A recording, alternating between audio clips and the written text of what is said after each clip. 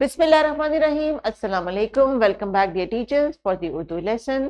प्यारे बच्चों, हम किताब के आखिरी सवाल की तरफ़ बढ़े हैं। यानी मुझे पूरी उम्मीद है कि रोज़ाना आप जितनी भी थोड़ी थोड़ी प्रैक्टिस कर हैं, अल्फाज को पढ़ने की, उनको लिखने की, टीचर के साथ बातचीत करने की, तस्वीर देख के उनके साथ जो है अपना इंफॉर्मेशन शेयर करने की तो यकीनन आज भी जो सफ़े आपको स्क्रीन पे नज़र आ रहे हैं, आपके लिए बहुत आसान होंगे। तो चलिए टीचर्स आज के लेसन को शुरू करते हैं और हमेशा की तरह पहले करेंगे हम थोड़ी सी दोहराई की एक्टिविटी ताकि बच्चे पिछले कॉन्सेप्ट्स को रिकॉल कर लें और आप बेहतर जानती हैं कि कौन से बच्चे ऐसे हैं जिनको इस दोहराई की एक्टिविटी की ज़्यादा ज़रूरत है। तो प्लीज़ इस वीडियो को पॉज कीजिए और स्क्रीन पे जो सजेशन दी गई है उसको फॉलो कीजिए। जी टीचर्स एक्टिविटी ये थी कि बच्चों से आपने कुछ बस्ती अल्फाज जिनकी प्रैक्टिस हम पिछले कई दिनों से कर रहे हैं, उनको आप बच्चों के साथ शेयर करें, उन्हें कहें कि अपने अपने छोटे छोटे मुख्तर जुमलों में बोले और उन अल्फाज को इस्तेमाल करने की कोशिश करें जो हमने छोटी ये, बड़ी ये, अलिफ और वाओ वाले जो हरूफ इल्लत थे उनसे बनाने की कोशिश की थी। तो चलिए बच्चों, कुछ स्क्रीन पर रीडिंग करेंगे अब आप मेरे साथ और उसके बाद फिर हम आगे बढ़ेंगे। किताब की पढ़ाई से पहले बच्चों, स्क्रीन पे आपने मुझे पढ़ के बताना है कि आपको क्या नज़र आ रहा है। ये मैंने क्या चीज़ सर्कल की है? ये है बस्ती लफ्ज ये शाबाश। तो तस्वीर किस चीज़ की है? कलम की। वेरी गुड क, कलम। और ये किस चीज़ को मैंने सर्कल किया? ये है बस्ती लफ्ज है। ये कलम। है। शाबाश। ये कौन सा बस्ती लफ्ज है?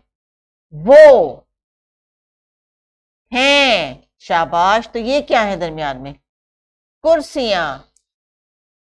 कुर्सियाँ। आपको याद है कि हम वो और हैं कब, हैं का लफ्ज कब इस्तेमाल करते हैं?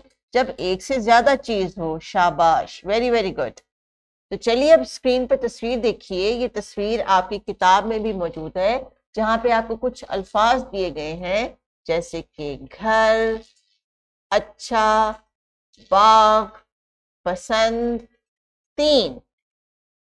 आपने हर जुमले को बारी बारी पढ़ के उसमें दिए गए अल्फाज को लिखना है। जैसे कि, ये मेरा क्या है? यहाँ पे क्या आएगा? ये आपने दिए गए अल्फाज में से चुनना है। तो डियर टीचर्स ये एक्टिविटी बच्चों ने खुद परफॉर्म करनी है। आप करेंगे इस वीडियो को पॉज और उसके बाद फिर हम इनके आंसर्स को देखेंगे। So please pause the video और बच्चों से ये एक्टिविटी कहें कि खुद से कंप्लीट करें। जी शाबाश, हम वापस आ गए और अब देखते हैं कि बच्चों ने क्या जवाब लिखे हैं और मैंने कौन कौन सा जवाब लिखा है। तो जनाब, मैंने जो जवाब लिखे हैं वो स्क्रीन पे आपको नज़र आ रहे हैं। ये मेरा घर है। मेरा घर अच्छा है। मेरे घर में तीन कमरे हैं। मेरे घर में एक बाग है। मुझे अपना घर बहुत पसंद है। शाबाश वेरी वेरी गुड अब देखते हैं टीचर्स किताब के सफ़े पे दिए गए कुछ तस्वीर की मदद से अब बच्चों ने अपने छोटे छोटे मुख्त से जुमले लिखने हैं और इस्तेमाल करेंगे बच्चे वो बसरी अल्फाज जो अभी तक इन्होंने सीखे हैं।